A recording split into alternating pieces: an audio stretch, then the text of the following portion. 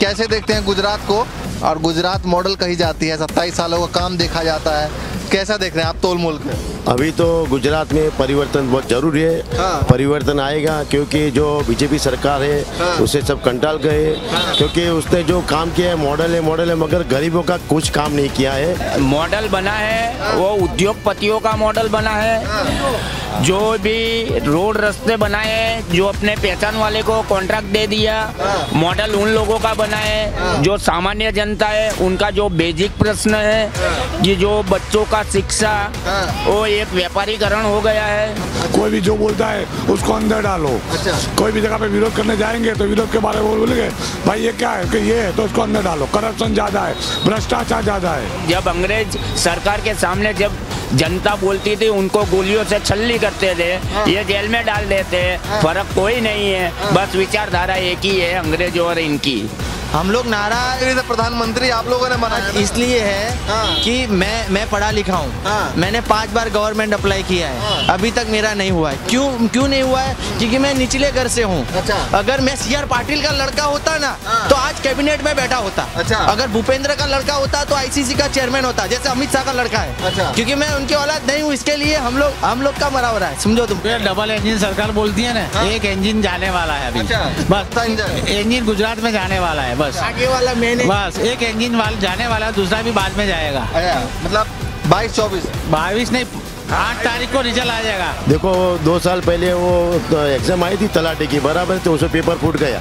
फिर बाद में दूसरे एग्ज़ाम सब पेपर फूट जाते हैं। तो ऐसा क्यों होता है? दूसरे स्टेट में ऐसा होता नहीं है। भाजपा सरकार आई है तब से कोई भी एग्ज़ाम लो तो पेपर फूट ही जाते हैं। ऐसा क्यों होता लीक हो जाता है। लीक हो जाता है पेपर तो ऐसा क्यों है?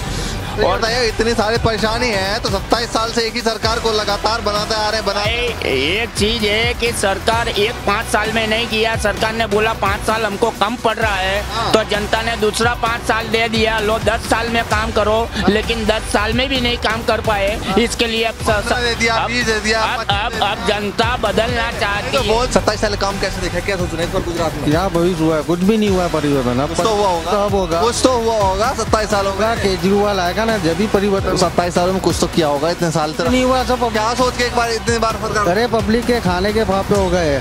जो बेरोजगारी दिन प्रतिदिन बढ़ती जा रही है जो शिक्षित युवा है उनको नौकरी नहीं मिल रही है और दूसरे जो हॉस्पिटलों के खर्चे है वो अभी आवक कम है और जावक ज़्यादा हो रही है इससे प्रजा परेशान है। वोट मांगने जो तमाम दल के नेता आएँगे तो मन में क्या सवाल है क्या पूछने वाले हैं? और खासकर विधायक जी वगैरह आएँगे तो क्या मन में सवाल है?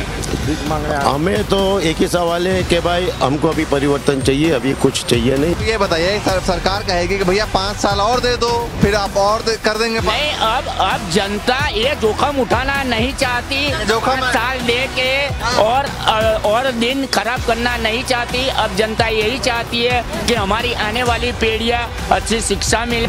सत्ताईस सौ रुपये डब्बा तेल का अमीरों के लिए भी और सत्ताईस सौ रुपये गरीबों के लिए। यानी हुए तो दोनों लेवल एक ही। फ़र्क तो कोई हुआ नहीं। पब्लिक को फ़र्क चाहिए। नॉर्मल इंसान अगर जो रोज लाके रोज खाने वाला है हाँ। मतलब परिवर्तन। परिवर्तन चाहिए। और केजरीवाल साहब परिवर्तन लाएँगे। हाँ। एडवांस से उनने बोल दिया है हाँ। कि भाई हम आएँगे तो 300 सौ यूनिट फ्री देंगे। पब्लिक को ज़्यादा फ़ायदा लाइट से होता है। बिजली का बिल कम होगा तो पब्लिक को राहत मिलेगी। परिवर्तन तो अब होएगा। अच्छा। केजरीवाल आए ना तीसरी पार्टी आई टक्कर में तो अब ये सब देंगे सुविधा।